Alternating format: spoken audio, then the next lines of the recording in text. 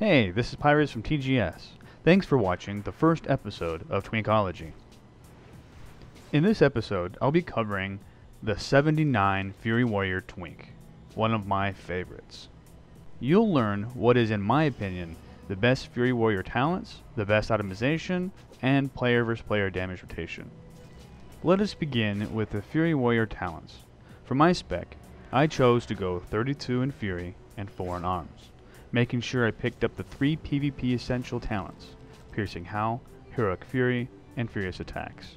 These three talents alone are what differ from most PvE Fury specs.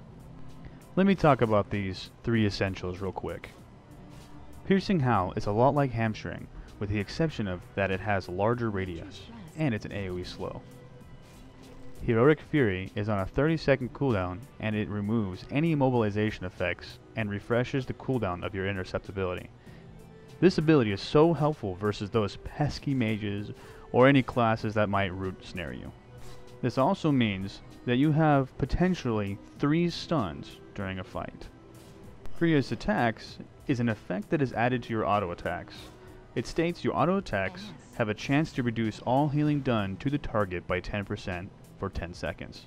Although you burst targets down quite quickly, this still helps negate some of the pesky healing that healers put out. Please do remember that these are in my opinion the best, and I have not done excessive theory crafting outside of me just playing the character in Battlegrounds and while dueling.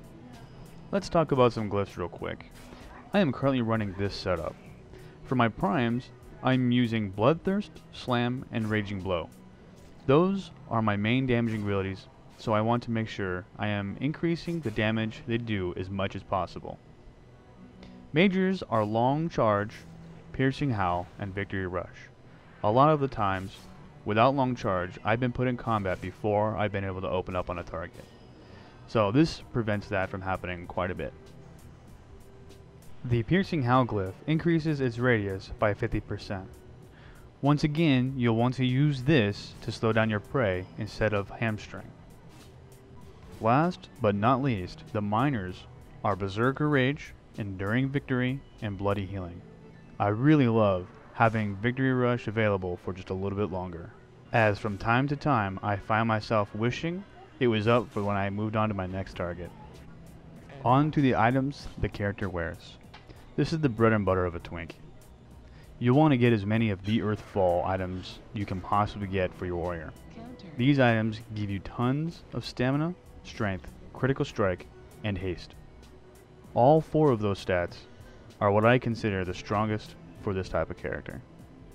With Commanding Shout, my warrior sits at 43,836 HP, 4,671 AP, about 35% crit chance, and about 20% haste.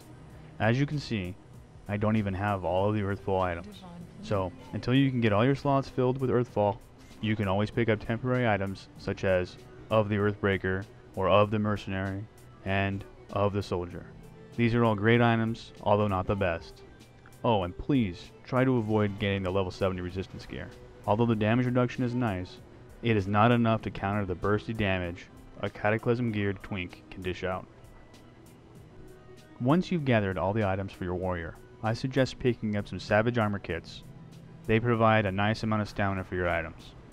For the pieces you can't deploy Savage Armor kits to, pick up any stamina enchantments or gems you can find. The more stamina you have, the longer it takes to take you down.